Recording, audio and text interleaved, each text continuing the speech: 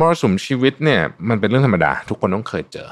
นะครับอาจจะเป็นมรสุมเล็กๆนะผ่านไปอย่างรวดเร็ว หรือเรื่องใหญ่โตที่ต้องใช้เวลาเป็นปีๆถึงจะผ่านไปได้นะครับ ด้วยลักษณะของตัวมรสุมชีวิตเนี่ยที่มันค่อนข้างจะบางทีมันก็กินเวลาเนี่ยนะครับคนที่จะอยู่กับเราให้กำลังใจเราได้เนี่ย บางทีมีแต่เราเองคนเดียว เพราะว่าแน่นอนเรา ต้องไปปรึกษาเรื่องพวกนี้กับครอบครัวกับเพื่อนอะไรอยู่แล้ว แต่ว่าเขาเองก็มีเรื่องที่ต้องจัดการ ก็มีชีวิตที่ต้องดำเนินเหมือนกัน เพราะฉะนั้นโดยส่วนใหญ่แล้วเนี่ยเราก็จะจัดการเรื่องนี้ค่อนข้างจะลำพัง การจัดการอารมณ์เนี่ยมีหลากหลายวิธีนะฮะแล้วก็มีเครื่องมือมากมายที่ช่วยคุณจัดการอารมณ์ได้ดีขึ้นนะฮะได้เร็วขึ้นนะครับ วันนี้เนี่ยผมอยากจะมาแนะนำวิธีหนึ่งที่ที่ที่ที่เกิดมาในตอนแรก ไม่ต้องใช้เครื่องมืออะไรเลยนะฮะ ไม่ต้องมีคอมพิวเตอร์เลยด้วยซ้ำเนี่ยนะครับ มันมันมี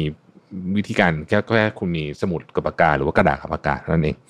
เราเรียกวิธีการนี้ว่าการเขียนจดหมายแต่ไม่ต้องส่งหรือว่า unsend letter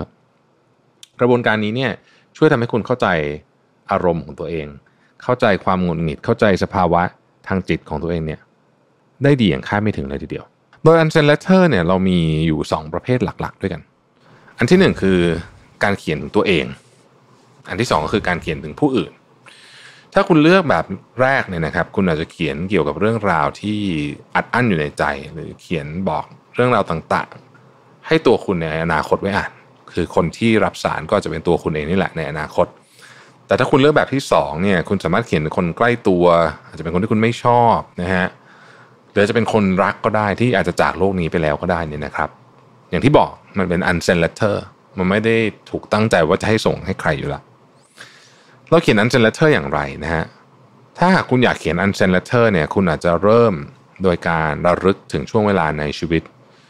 ที่เป็นมรสุมชีวิตของคุณเนี่ยนะฮะไม่ว่ามันจะผ่านมานานแล้วหรือเพิ่งผ่านมาหรือกำลังเป็นอยู่ตอนนี้ด้วยซ้ำที่คุณต้องลำบากเผชิญเหตุการณ์ไม่คาดฝันต่างๆ ยกตัวอย่างสมมติคุณเคยติดบุหรี่นะฮะแต่ตอนนี้เลิกไปได้แล้ว อันนี้ก็เป็น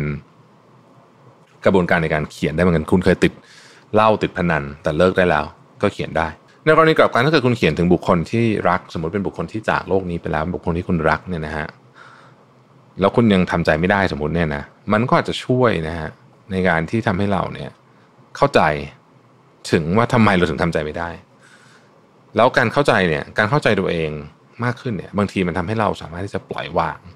หรือว่าอย่างน้อยสุดลดความเจ็บปวดจากเรื่องนี้ได้นะฮะเวลาเขียนถึงบุคคลที่เสียชีวิตไปแล้วเนี่ยนะครับ มันมีกระบวนการนิดหนึ่ง นะฮะ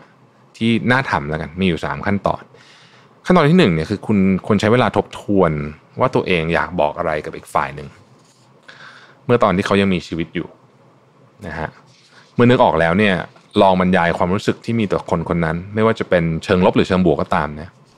ในขั้นตอนนี้เนี่ยคุณอาจจะอยากยกโทษให้เขาในเรื่องที่บาดหมางกัน หรือว่าอยากระลึกถึงช่วงเวลามีค่าที่ใช้ได้ร่วมกัน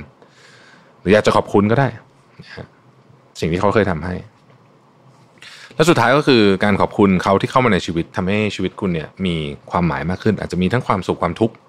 แต่มันมีความหมายมากขึ้น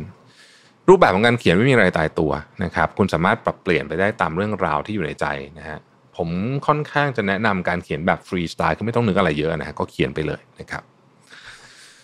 การเขียนอันเจนเลเตอร์เนี่ยช่วยคุณรับรู้ถึงอารมณ์ที่อัดอั้นและตกค้างอยู่ในใจได้ และเมื่อค้นพบและเข้าใจความรู้สึกเหล่านี้ คุณสามารถจัดการมาได้อย่างเหมาะสม ขั้นตอนนี้อาจจะเป็นการให้อภัยการปล่อยวางหรือว่าการขอโทษเนี่ยซึ่งผลลัพธ์ของความสำเร็จนี้ก็คือว่าคุณได้ปลดปล่อยความรู้สึกแย่ๆออกไป รวมถึงคุณอาจจะรักแล้วก็ภูมิใจในตัวเองมากขึ้นก็ได้